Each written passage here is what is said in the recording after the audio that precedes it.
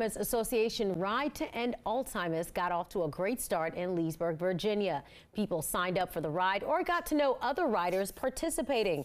It was a party in the streets with people dancing, including volunteer Janae Wheeler. She says the disease is prevalent in her family and is glad the event can bring attention to something that she says affects 6 million Americans.